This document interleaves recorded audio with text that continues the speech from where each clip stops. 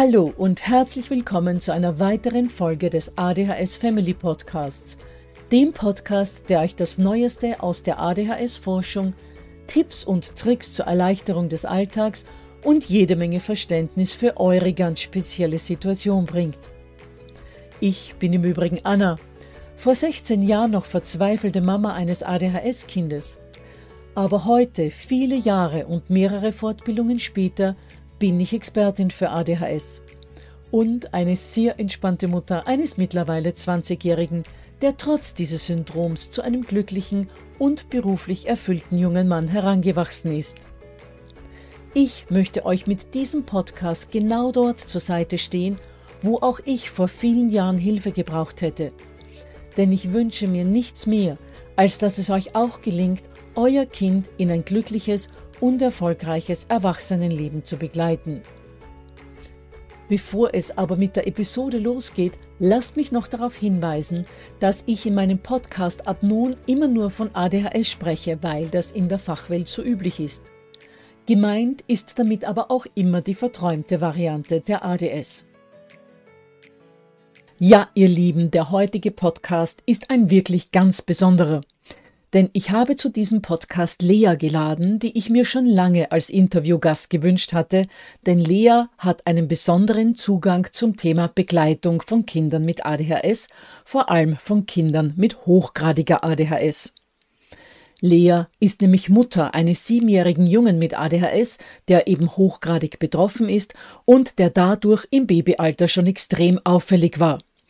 Und durch diese Herausforderungen, die mit jedem Lebensmonat und jedem Lebensjahr größer wurden, wurde Lea klar, dass ihr Kind definitiv anders ist und definitiv eine andere Art der Begleitung braucht als nicht betroffene Kinder, worüber sie uns gleich berichten wird. Davor aber noch Folgendes. Lea ist eine Mutter, die sich seit dem ersten Verdacht auf ADHS bei ihrem Kind ganz intensiv mit dem Thema beschäftigt hat und noch beschäftigt, und so ist sie in der Zwischenzeit selbst so belesen, dass auch sie zum Thema ADHS schreibt. Zum einen hat sie in der Zeitschrift Akzente, dem vierteljährlich erscheinenden Magazin des Nationalen Selbsthilfevereins ADHS Deutschland e.V., einen hochspannenden Artikel mit dem Titel Bedürfnisorientierte Begleitung hyperaktiver Kleinkinder verfasst. Ich verlinke dazu in den Shownotes. Und zum anderen hat sie das Buch Maxim und Billa geschrieben, in dem Kindern ab acht Jahren, aber auch Erwachsenen in Form von Abenteuern und Geschichten ADHS näher gebracht wird. Auch dazu verlinke ich in den Shownotes. Und wie immer findet ihr in den Show Notes auch den Link zum PDF zu dieser Episode, wo ihr das Wichtigste nochmal nachlesen könnt. Abschließend noch bevor es losgeht, zwei Dinge. Punkt 1. Lea berichtet zwar vorwiegend über ADHS im Kleinkind, Kindergarten und Vorschulalter, vieles davon trifft aber auch auf ältere Kinder und sogar Teenager zu. Vor allem die Tatsache, dass man sich immer die Beweggründe für ein bestimmtes Verhalten bewusst machen sollte, bevor man über Konsequenzen nachdenkt. Und Punkt 2. Lea und ich wollten uns eigentlich nur zu einem einzigen Podcast treffen. Aber dann ist etwas geschehen, das davor noch nie passiert ist. Wir haben statt einer halben Stunde über drei Stunden miteinander geredet und dabei so viel Interessantes besprochen, dass Lea nun immer wieder mal Gast im ADHS Family Podcast sein wird. Und nachdem Lea zu unserem heutigen Thema ja schon so viel zu berichten hatte, habe ich diese Informationen auf zwei Episoden aufgeteilt. Gut, dann lasse ich euch nicht mehr länger warten. Starten wir mit dem Interview. Herzlich willkommen, liebe Lea, zum ADHS Family Podcast. Es freut mich wahnsinnig, dass du dich bereit erklärt hast, heute mit unseren Hörern und mit mir deine Erfahrungen zu teilen. Unser heutiges Thema ist ja Grenzen wahren ohne erzieherische Konsequenzen. Nicht, da sind wir jetzt äh, schon alle sehr gespannt darauf. Aber vielleicht bevor wir ins Thema eintauchen, gib uns mal einen kurzen Überblick, was dich zur ADHS gebracht hat oder wo du deine Berührungspunkte hast. Wir haben ja im Intro schon gehört, dass du einen Sohn hast, aber vielleicht möchtest du uns dann noch ein wenig mehr darüber erzählen. Ja, danke, Anna. Ich bin tatsächlich erst durch meinen Sohn auf die Thematik gekommen, obwohl ich davor auch schon, wie ich aus heutiger Sicht sagen kann, Berührungspunkte mit ADHS hatte, sowohl in der Familie als auch in meiner Arbeit. Aber erst bewusst geworden ist mir das durch meinen Sohn. Das geht auch wohl vielen Eltern so, die aus Familien, wo es ADHS-Betroffene gibt, kommen, dass sie das ja durch ihre Kinder erst erfahren, weil jetzt in unserer Generation erst so diagnostiziert wird. Und mein Sohn ist mittlerweile sieben Jahre alt, erfolgreicher Zweitklässler. Und wir haben seit er viereinhalb Jahre ist schon eine ADHS-Diagnose zunächst als Verdacht und dann als bestätigte offizielle Diagnose. Davor hatte er schon im Alter von zwei oder drei Jahren eine sensorische Integrationsstörung diagnostiziert bekommen. Und seit er fünf ist, geben wir regelmäßig Medikamente. Wir haben eindosiert, als er noch nicht mal fünf Jahre alt war, also vor der Vorschule. Und dadurch kann man sagen, ist er jetzt auch auf einem Stand, dass er mit Medikation gut in der Schule klarkommt. Also äh, mittlerweile hat sich der Familienalltag sehr entspannt durch verschiedene Faktoren. Aber man kann sagen, dass seit er drei Jahre alt ist und zum ersten Mal der Verdacht aufkam, dass ADHS vorliegen könnte, ich mich mit der Thematik beschäftigt habe ja, und dann berichtet Lia darüber, dass ihr Sohn bereits mit vier Monaten zu grabbeln begonnen hat, mit fünf Monaten wie ein Wirbelwind überall dran war, sich in den Schubladen die Finger geklemmt hat, Lampen umgerissen hat, auf Fensterbänke geklettert ist und Lia eigentlich den ganzen Tag damit beschäftigt war, hinter ihrem Sohn her zu sein, um diesen vor Gefahren zu bewahren. Wenn ich mich erinnere, bin ich ab dem fünften Lebensmonat die ganze Zeit quasi meinem Sohn hinterher gehechtet um ihn zu begrenzen. Das führt jetzt auch zu, zu dem Grenzensetzen sehr gut oder zu diesem grenzüberschreitenden Verhalten, was viele Kinder mit ADHS schon im Kleinkindalter zeigen. Denn entgegen der landläufigen Auffassung, dass ADHS-Kinder zu wenig Grenzen kennen, ja, dieses falsche Vorurteil, dass das ADHS-Verhalten bedingt ist dadurch, dass die Eltern keine Grenzen setzen. Entgegen dieser Auffassung ist es in Wirklichkeit so, dass Kinder mit ADHS schon im Kleinkindalter viel mehr Grenzen zu spüren bekommen weil sie ein ständig grenzüberschreitendes Verhalten an den Tag legen und daher ständig gegen die Grenzen ihrer Mitmenschen oder gegen natürliche andere Grenzen stoßen. Man kann ein Kind ja einfach nicht auf die Straße laufen lassen. Und viele Kleinkinder laufen auch gar nicht auf die Straße, weil sie die Autos für sich als gefährlich erkennen. Oder sie stürzen sich nicht Kopf über die Treppe runter, weil sie das einmal äh, erlebt haben und das nicht nochmal machen. Ein Kind mit ADHS kann sich aber hundertmal hintereinander in derselben Schublade die Finger einklemmen oder am Herd verbrennen. Daher muss man dieses Kind hundertmal stoppen und die anderen Kinder nicht. Das heißt, Kinder im Kleinkindalter mit schwerem ADHS machen schon die Erfahrung, dass sie ständig begrenzt werden müssen. Sie erleben also täglich viel mehr Beschränkungen durch die Bezugspersonen, aber nicht nur das, sie erleben auch viel mehr negative Reaktionen auf ihr Verhalten, negativen Umgang insgesamt. Weil ganz gleich, wie zugewandt man versucht, als Elternteil zu sein, muss man das Kind sehr häufig trotzdem festhalten, man muss andere oder das Kind schützen. Und unvermeidlich bringt man dem Kind diese negativen Erfahrungen, dass man das stoppen muss. Was man natürlich tun muss, um das Kind, so wie du ja schon gesagt hast, zu schützen oder um andere zu schützen, aber halt in einer viel höheren Häufigkeit als bei einem nicht betroffenen Kind. Genau, und das ist das eigentliche Problem. Das ist der Kern des Problems. Es geht also nicht um das Grenzen setzen, oder um das Verhängen von Konsequenzen aufgrund eines Fehlverhaltens, sondern es geht darum, dass die Kinder mit ADHS, vor allem die schwer Betroffenen mit einer schweren Hyperaktivität und Impulsivität im Kleinkindalter, sich grenzüberschreitend verhalten. Und zwar unabhängig davon, wie man reagiert. Und das muss man verstehen. Und das ist das, was. Wie meinst du jetzt unabhängig davon, unabhängig wie man reagiert? davon, was man als Elternteil macht? Und das erfahren viele Eltern auch, ich habe das mal genannt in meinem Aufsatz, es ist eine Erfahrung mangelnder Selbstwirksamkeit als Elternteil. Zu sehen, dass das Kind sich, egal was man tut, ob man es begleitet, ob man lieb ist, ob man es bittet, ob man es anschreit, ob man Konsequenzen verhängt, ob es sich selber schadet, ob man das zulässt, dass es sich selber wehtut. Egal wie man reagiert, sich weiter so verhält, wie es sich verhält, nämlich die Grenzen überschreitet. Das ist eine ganz schwierige Erfahrung für einen selbst. Und wenn die Umgebung dann äh, ständig einem das Verhalten des Kindes vorwirft und zurechnet, so von wegen, so ist es, weil du das und das machst, zum Beispiel das Kind überbehütest oder andersrum zu wenig Grenzen setzt, zu inkonsequent bist, dann gerät man noch mehr unter Druck, sich irgendwie anders zu verhalten, weil man die Illusion hat, dass man dadurch das Verhalten des Kindes steuern kann. Und aus diesem Kreislauf kommt man nur raus oder als Elternteil sich bewusst macht, dass die Kinder sich aus anderen Gründen grenzüberschreitend verhalten. Aus Gründen, die man erstmal verstehen muss, bevor man überlegen kann, wie man reagiert. Das heißt, du hast die Erfahrung gemacht, dein Kind verhält sich so und so aus, aus diesem und jenem Grund heraus. Kannst du uns da mal ein paar Beispiele dafür geben? Ja, also bei meinem Sohn ist ja das alles in Gang gekommen, auch dass wir dann nachher eine Diagnostik angestrebt haben, weil er in der Kita als aggressiv wahrgenommen wurde. Und bei meinem Sohn lag zum Beispiel dieses Verhalten zum Teil an seiner eigenen mangelnden Körperwahrnehmung. Also er hat sich selber schlecht gespürt und dadurch gar nicht verstanden, dass anderen Kindern was wehtut. Er ist selber durch eine extreme Unempfindlichkeit oder Unterempfindlichkeit aufgefallen. Er hat selbst nicht bemerkt, wenn er zum Beispiel sich den Fuß angestoßen hatte und der geblutet hat. Dadurch kann man ja auch sich zum Beispiel erklären, dass er aus ungünstigen Folgen, natürlichen Folgen, wie dass er sich zum Beispiel irgendwo stößt, gar nicht gelernt hat, weil ihm das gar nicht aufgefallen ist. Und so ähm, ist es für ihn auch schwer gewesen, nachzuvollziehen, dass er anderen wehtut. Er fand auch, wenn er gehauen wird, das zum Beispiel lustig. Also es war für ihn ein angenehmes Gefühl, den Druck auf dem Körper auszuhalten.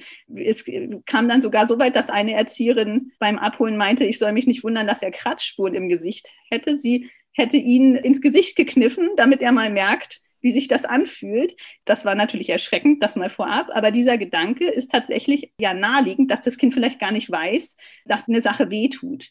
Aber der führt natürlich zur Katastrophe, wenn man das weiterdenkt. Man muss verstehen, dass man eine Körperwahrnehmung nicht dadurch fördert, indem man die Grenzen des Kindes verletzt, sondern wenn man merkt, das Kind hat ein objektives Problem, dann muss man herausfinden, was genau das für ein Problem ist.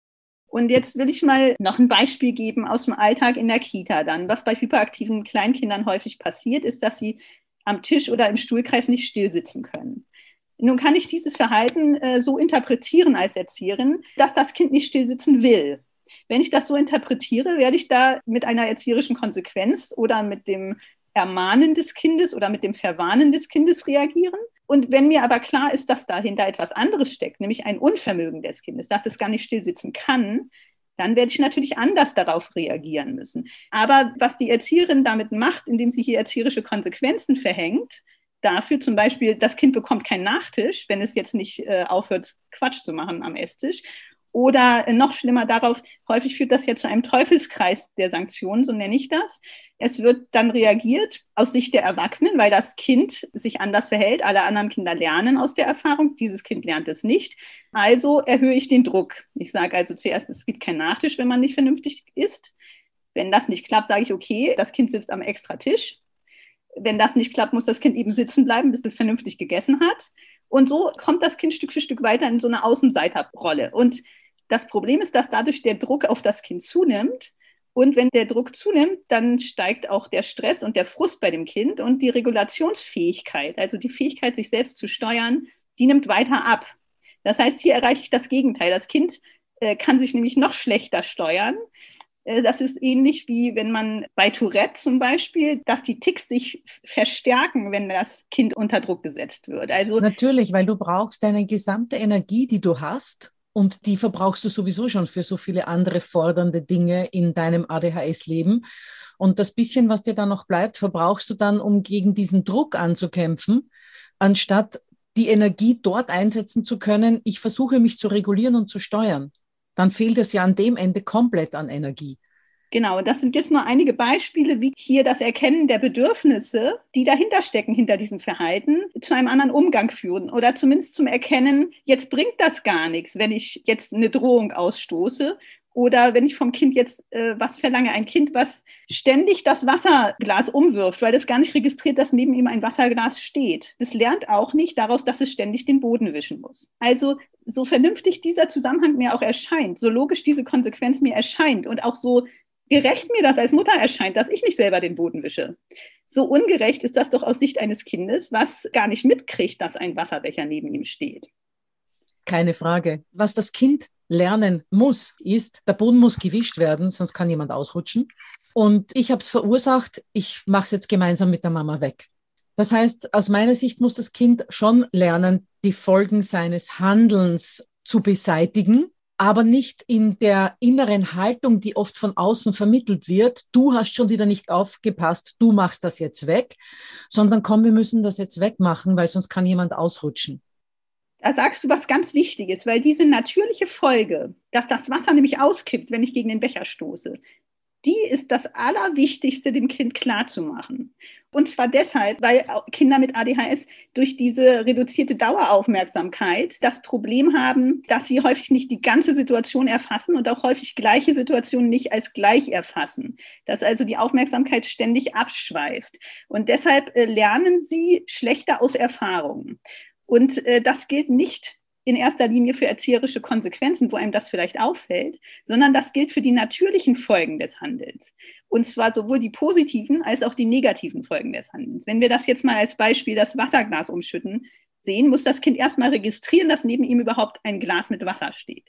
Dann muss es verstanden haben, dass das Wasserglas umfällt, wenn es dagegen stößt. Dann muss es verstanden haben, dass es selber durch seine ausladende Bewegung, die es vielleicht gerade nicht steuern kann, dagegen gestoßen ist, das Wasserglas also wegen ihm umgekippt ist dann ist der Boden nass. Da muss es noch verstehen, dass das nasse Wasser auf dem Boden dazu führt, dass Leute ausrutschen können, dass er selber vielleicht nass wird oder dass der Boden kaputt geht. Diese ganzen Informationen müssen in dem Moment, wo das Kind am Tisch sitzt und impulsiv den Becher umstößt, dem Kind klar sein, damit es diese Handlung überhaupt vermeiden kann. Und erst wenn es die Handlung vermeiden kann, kann ich verlangen, dass es sie vermeidet, also eine erzieherische Konsequenz als zusätzliche Folge festlegen.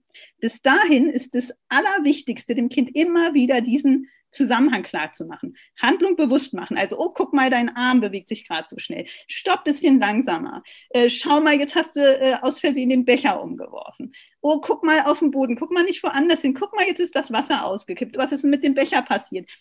Erstmal die Wahrnehmung für die eigene Handlung verbessern, schärfen, dass das Kind es überhaupt merkt und für die Folge, nämlich Wasser. Was nicht passieren darf und was aber zu häufig passiert, ist, dass das Kind direkt mit der erzieherischen äh, Konsequenz belegt wird, bevor das überhaupt die natürliche Folge versteht. Und dann eine Verknüpfung im Kopf passiert, wenn ich Wasser verschütte, zwingt mich meine Mutter, das Wasser aufzuwischen. Weil äh, diese Verknüpfung ist keine Verknüpfung Verursachungsbeitrag natürliche Folge, sondern das ist Beit, äh, ich mache etwas und dann muss ich das und das machen. Ich äh, kann noch ein Beispiel nennen. Mein Sohn hat zum Beispiel irgendwann auf die Frage der Erzieherin nach zwei Jahren, nachdem er immer auf die Bank gesetzt wurde oder ähm, ermahnt wurde, wenn er mit Sand geworfen hat, auf die Frage, sag mal, weißt du eigentlich, warum man nicht mit Sand werfen darf? Geantwortet, weil ich dann Mecker kriege. Und das muss verhindert werden. Es muss verhindert das heißt, werden. warte mal, das muss ich jetzt nochmal äh, wiederholen. Das heißt, er hat geglaubt, er darf mit Sand nicht werfen um nicht bestraft zu werden. Das heißt, er hat nicht verstanden, er darf mit Sand nicht werfen, damit andere Kinder oder er den Sand nicht in die Augen kriegen.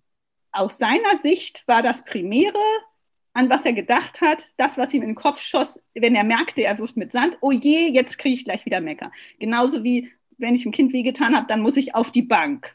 Und das darf natürlich nicht passieren, weil was wollen wir denn? Wir wollen doch nicht Kinder, die nicht mit Sand schmeißen, weil sie sonst auf die Bank müssen. Wir wollen doch Kinder, die verstehen, wenn ich mit Sand werfe, kriege ich den in die Augen und weine. Oder andere Kinder kriegen den in die Augen und weinen.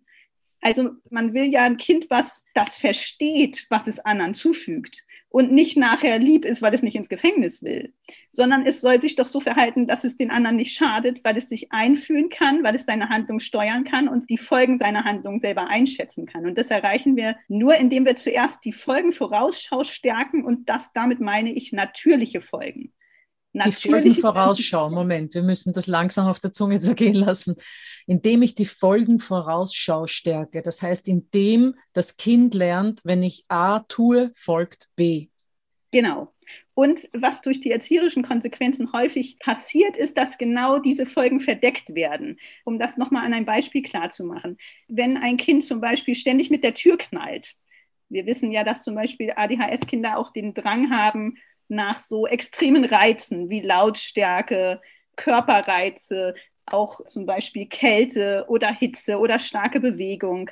Und dann gibt es Kinder, die so wie, wie unter Zwang quasi hundertmal mit der Tür knallen, äh, wenn man sie nicht daran hindert. oder laut schreiend rumlaufen und keiner ja, weiß warum. Genau, genau. Ja. Und wobei das schon mal schon wieder eigentlich wie ich sage, ein positives Umlenken fast ist. Wenn sie nämlich rumschreien, das schadet ja erstmal niemanden. Aber dieses mit der Tür knallen, das schadet dann nämlich, wenn das in der Kita gemacht wird, oder zu Hause, wenn man ein kleines Brüderchen oder Schwesterchen hat und das Kind die Hände im Türrahmen hat. Wenn ich nun also das Türknallen nicht unterbinde, sondern erst reagiere, wenn das andere Kind seine Finger im Türrahmen hat äh, die Finger eingeklemmt werden und ich dann als Elternteil rumschreie oder eine erzieherische Konsequenz darauf setze, und sage, wenn du nochmal dem Kind die Finger einklemmst, dann musst du in dein Zimmer, sagen wir mal so, als das ist jetzt eine sehr unsinnige erzieherische Konsequenz. Weil wenn ich das mache, verknüpfe ich im Kopf das Finger verletzen mit das dem ins Zimmer gehen. Das ist also, das ergibt keinen Sinn. Einen Sinn ergibt es zu sagen, man knallt keine Türen, denn dann kann es passieren, dass man jemandem die Finger einklemmt. Das ist das, was eigentlich die natürliche Folge ist. Und man darf also die erzieherische Konsequenz nicht an ein unvorhersehbares Ergebnis knüpfen, sondern man muss sie immer an die Handlung knüpfen. Man muss die Handlung nehmen, die das Kind wahrnimmt und sagen, was für eine Folge eintreten kann. Verstehst du, was also, ich meine? Ja, ja. Handlung ist gleich Türe knallen, Folge ist gleich Finger können eingeklemmt werden. Genau, genau. Und äh, was man häufig macht, weil man im Alltag gar nicht hinterherkommt mit dem Re Reagieren, ist, dass man zu spät reagiert, nämlich dass man erst auf das Ergebnis reagiert. Und das ist ganz ungünstig bei ADHS, weil dieses Ergebnis nicht vorhergesehen wird durch das Kind. Du meinst also, dass man zu spät reagiert, dass man sich denkt, okay, soll also einfach die Türen knallen, ist mir egal, ich blende es aus, ich muss meinen Bericht fertig schreiben, anstatt weiterzudenken, was könnte denn eigentlich durch dieses Türenknallen alles passieren und da schon vorher versuche es zu ja. unterbinden. Aber ähm, häufig geht das alles auch in Sekunden, ja, muss man sagen. Und äh, häufig schätzt man auch die Lage nicht, vielleicht nicht als gefährlich ein und es war dann doch gefährlich. In so einem Moment darf man dem Kind aber das Ergebnis nicht zurechnen. Auch wenn man vielleicht denkt, wie kann das denn jetzt passiert sein, hätte ich ja niemals vorausgesehen, weil auch das Kind hätte das nicht vorausgesehen. Ähm, wir dürfen nicht vergessen, dass die Kinder ein Problem haben mit der Vorausschau, weil sie eine Impulskontrollstörung haben. Also in dem Moment, wo sie handeln, gerade nicht nachdenken. Selbst wenn die Folge, was, was im Idealfall im Kleinkindalter passiert sein sollte, dass dem Kind auch mit ADHS die Folge seiner, seines Handelns theoretisch bekannt ist. Das ist das Wichtigste, erstmal diese theoretische Bekanntheit der Folge. Aber dass das sie dann berücksichtigen kann, ist nochmal ein Schritt weiter. Da muss es sich nämlich auch noch steuern können. Und das ist bei sehr impulsiven Kindern sehr schwierig. Äh, bei vielen sogar erst unter Medikamenten überhaupt möglich, dass sie quasi die Handlung stoppen können, wenn sie gerade, vor allem wenn sie übererregt sind. Dann können sie trotzdem nicht an die Folgen denken, auch wenn sie sie kennen. Deshalb muss man sie dann zum Beispiel erinnern, möglichst noch während der Handlung. Wenn sie noch zugänglich sind. Genau. Ja. Ach, du knall, willst schon wieder Türen knallen? Können wir vielleicht auch trommeln, ja, oder ja. schrei doch lieber, wenn, wenn man jetzt gerade äh, Nachbarn hat, wo das vielleicht möglich ist, dass die Kinder. Das heißt, wenn du jetzt als, als, äh, als Ursache oder als Beweggrund für das Türenknallen einfach nur diesen Drang, ich brauche einen starken Reiz wahrnimmst, würdest du als Mama dann sagen, du pass auf, mach mal lieber Trommeln oder ähm, schrei doch einfach um zu vermeiden, dass eine negative Folge des Türenknallens entsteht. Oder man lässt es zu, das ist auch eine Entscheidung, man lässt es zu, sagt aber dabei, du, wir müssen jetzt unbedingt aufpassen, dass der Kleine äh, nicht in der Nähe ist. Guck mal nach, dass der gerade in seinem Zimmer ist. Wenn der in seinem Zimmer ist oder im Flur und du siehst ganz genau, es kann jetzt nichts passieren, dann kannst du die Tür knallen. Das kann man auch entscheiden. Da will ich jetzt nicht sagen, äh, man darf generell nicht mit Türen knallen. Man muss gucken, ist die Handlung objektiv gefährlich das oder nicht. Das ist meiner Meinung nach sogar, wenn das möglich ist und wenn man das aushält als Erwachsener, die bessere Option, wenn man die Zeit hat, beim Türenknallen daneben zu stehen. Also für jemand Außenstehender, der uns jetzt gerade zuhört, der wird sich wahrscheinlich denken, wovon reden die beiden da?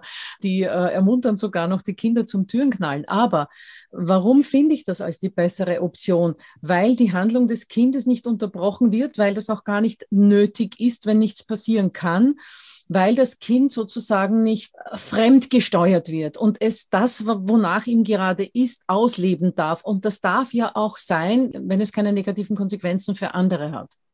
Das stimmt, das würde ich so unterschreiben. Also ich nenne das ähm, dieses Verfahren, was wir hier jetzt als Begleitung bezeichnen oder enge Begleitung, dieses auch präventive Handeln im Gegensatz zu dem Reagieren mit erzieherischen Konsequenzen oder äh, auch indem man positive Anreize setzt dieses präventive Begleiten, das nenne ich Koregulation. Ähm, im, Im Unterschied zu einer Fremdregulation, weil wir wissen ja, dass die Kinder mit ADHS sich quasi selber schlecht regulieren können. Das heißt, hier liegt, liegt ein Problem in der Eigenregulation vor. Eigentlich heißt es, dass ich mitsteuere. Das, was das Kind will, das, was das Kind tut, so begleite, dass es nicht gefährlich wird. ich versuche so viel wie möglich den Kontrollverlust zu vermeiden.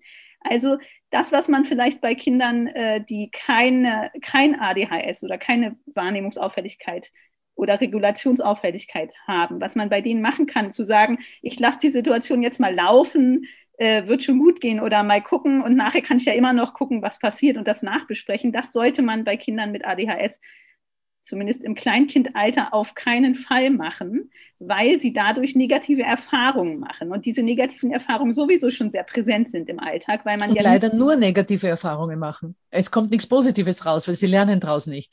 Weil das nicht betroffene Kind würde ja lernen, ich mache das lieber nicht mehr, weil genau. das hat, hat die Folge, dass ich, wenn, die, wenn ich die Finger in der Schublade also, habe, blaue Finger habe. Leider nicht mal so, dass die Kinder keine ähm, äh, nicht daraus lernen, sondern viele Kinder, vor allem die, die, die kognitiv sehr weit sind, die lernen durchaus aus dieser ganzen äh, Umgangsweise mit ihnen. Und zwar lernen die, dass sie immer ungerecht behandelt werden. Aus ihrer Sicht äh, lernen sie, dass die Umgebung ständig mit ihnen meckert für nichts, weil sie ja ihren Verursachungsbeitrag meistens gar nicht wahrnehmen. Und dass sie ständig, wenn es ihnen gut geht, nämlich wenn sie gerade richtig in Stimmung sind, weil sie in diesem Überdrehten sind, die Umgebung sie festhält, anschreit, irgendwo anders hinträgt. Also äh, sie lernen durchaus, machen sie Erfahrung, aber die Erfahrung machen sie eben, dass die Umgebung ihnen nicht wohlgesonnen ist. Und das ist eine schädliche Erfahrung, die im Laufe der Zeit auch zu sekundären Störungen führen kann und die häufig schon im Kleinkindalter zu einem sehr niedrigen Selbstbewusstsein bei den Kindern führt. Das heißt, das, was ich im Kleinkindalter das Allerwichtigste finde bei Kindern mit schwerem ADHS, ist, negative Erfahrungen so viel wie möglich vermeiden. Machtkämpfe vermeiden, Interessenkollision vermeiden, Übererregung vermeiden, schlechte Erfahrungen vermeiden. Das, da muss man aber ganz schön viel vermeiden, äh, je nach Kind. Aber es ist alles besser, als die Sache laufen zu lassen. Aber da sind wir ja genau beim Thema, Lea. Wie vermeide ich das? Ja, und genauso wie ich zu Beginn dieser Folge gesagt habe, hatte Lea dazu so viel zu sagen und so viele Tipps und Anregungen, dass ich mich entschloss, all das in eine weitere Folge zu verpacken.